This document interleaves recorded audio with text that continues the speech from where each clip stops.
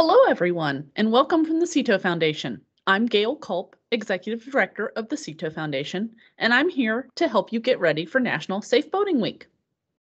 This is going to be recorded, so if you need to go back and see something, it'll be available. We also have a resource kit featuring the images, social media posts, and details that will be available by May 7th on boatingsafety.com. So without further ado, let's get into the presentation. The first question we usually get is what is National Safe Boating Week? It's a week long event that focuses on boating safety prior to the start of the summer boating season. While we recognize that many areas of the US have already started boating, some all the way back in the winter, the Memorial Day weekend really kicks off the summer boating season. So National Safe Boating Week aims to get the safety messaging out before that weekend. There are three main goals for this week to inspire agencies, companies, municipalities, organizations, and people who support us to talk about boating safety, to attract the attention of the media and the general public. Basically, the more people we have sharing our messages, the more attention we can get from the general public and the media. So when is National Safe Boating Week? Well, it's usually and always the week before Memorial Day weekend. It's a seven day period. This year, that week is May 22nd to 28th. The bonus day, as you see on the calendar with the smiley face, is the Friday before, May 21st, and that is wear your life jacket to work day. We'll have more on that in just a second, but go ahead and mark your calendars now. Wear your life jacket to work day is May 21st, and there's two ways you can participate. The first is that you can set up a photo shoot anytime between now and Friday, May 14th, and take a photo alone or with your coworkers or team. It's okay to wear a mask in the photo because that's part of what we'll remember for the 2021 National Bo Safe Boating Week. But that decision is ultimately up to you as to whether you wear your mask or not, and depending on who you're with.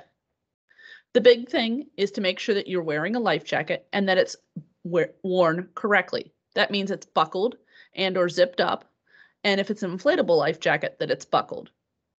You can take the photo with a cell phone, so it doesn't have to be a really big deal. Once you get your photo taken, please email or text the photos to me at gail at boatingsafety.com, or you can text them to me at 631 876 5077 and do that by May 14th. That way I can put all of the photos together in collages and post them all day long on Friday, May 21st on Facebook and Instagram for Wear Your Life Jacket to Work Day. The second option, if you're not able to do that in time, is to take your photos on the actual Wear Your Life Jacket to Work Day on May 21st and then post them to Facebook or Instagram. Please tag the Sea Tow Foundation at Sea Tow Foundation and use the hashtags NSBW21 for National Safe Boating Week 2021 and hashtag boating safety. So there's lots of different ways you can participate in National Safe Boating Week, but I've really drilled it down to two. The first is that we're going to have daily social media posts and blog posts that are already written and ready to be copied and used on your own social media pages. You can tag the Sea Tow Foundation and use those hashtags NSBW21 and hashtag boating safety. Again, that resource kit will be available at boatingsafety.com starting May 7th. The other option is take the posts, they're going to be posted on the Sea Tow Foundation's Instagram and social media pages, Facebook, Instagram, Twitter, and share them on your own page each day. Doesn't get any simpler than that. So here's a preview of some of the topics that we'll be covering over National Safe Boating Week. The first is about carrying an EPIRB or PLB and that it and how it can save lives during an on-water emergency by alerting rescuers to the position of the people who need it. We'll have a blog post about the details of how PLBs and EPIRBs work, what those acronyms mean, and how to register them. The second day of National Safe Boating Week will be all about the engine cutoff switch and how it saves lives by turning off propeller when someone driving the boat leaves the helm or if a passenger falls overboard if you're using a wireless option. And with the new law that took effect on April 1st, it's even more important to talk about this topic. Day three of National Safe Boating Week reminds boaters about filing a float plan and how it can assist those looking for them if they don't arrive back when originally scheduled. A float plan can be as simple as a post-it note like the one shown in the graphic, a text message, or it can be a detailed form. The important thing is that it's done. And again, the daily blog post will have lots more details on that.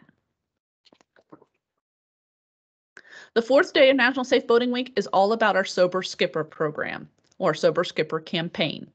This is our goal to help eliminate boating under the influence accidents and fatalities. And the Sea Tow Foundation has lots of free items that you can order to promote this or use as free giveaways. And I'll have more about that in a minute.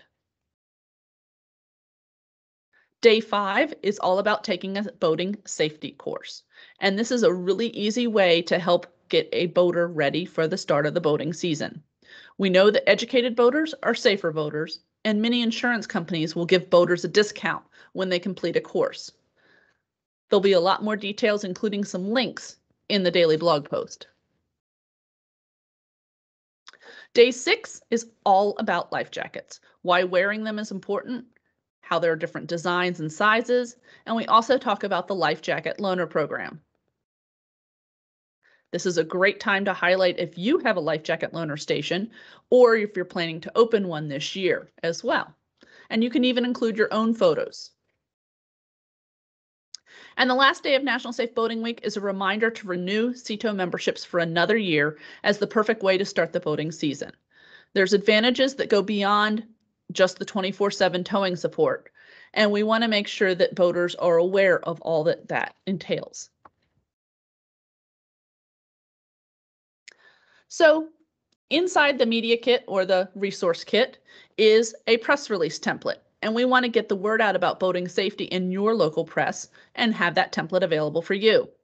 Again, that resource kit will be available starting May 7th, and that will include the press release template, the daily blog post, the images, and the social media posts.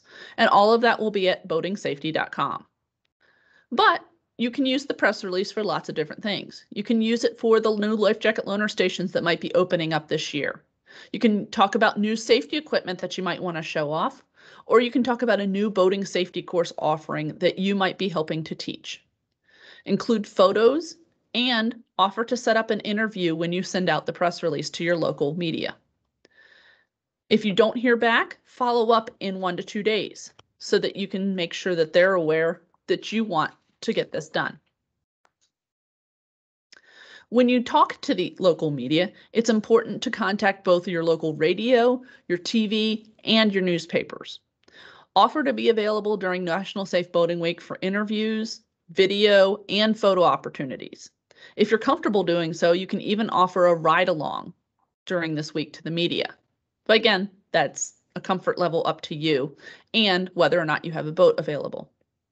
You can also offer to showcase the safe boating techniques and have a second person on land to explain it to the camera in terms of what is happening. That way, it's showcasing it while you're social distancing. Don't forget to tell the news media that the coverage and footage that they get on that day can also be used later in the summer as B-roll footage. So make sure the media knows that as well.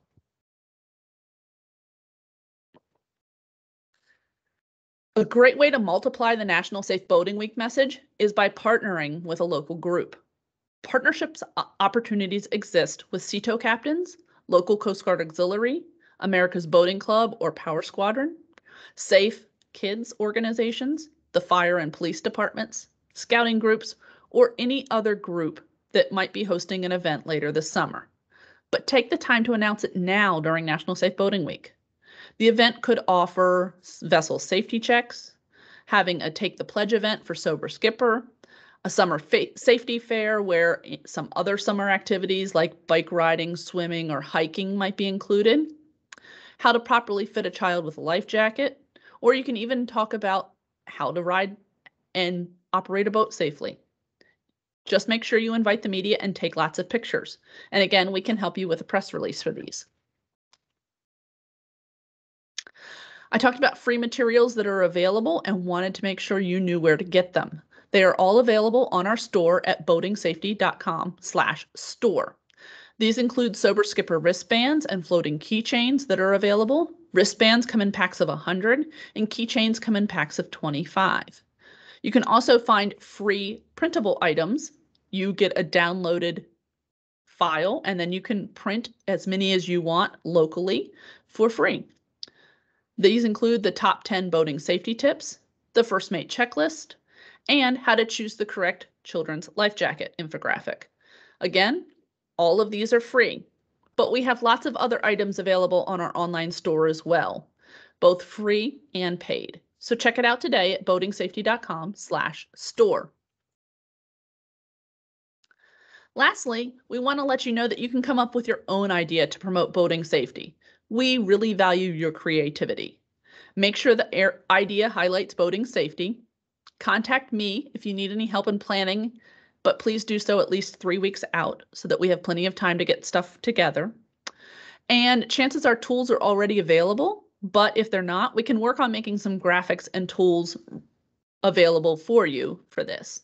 And last, we want you to be creative. Have fun and take lots of pictures. And if your idea success is a success, we can write up a report and let others know about it so that more people can take advantage of it themselves. You can also get more National Safe Boating Week resources for free from the National Safe Boating Council, www.safeboatingcampaign.com. So that brings me to the end of my presentation, and I wanted to let you know that I'm always standing by if you have any questions. My phone number is on the screen and my email, so please feel free to reach out if you have any questions. Thank you so much.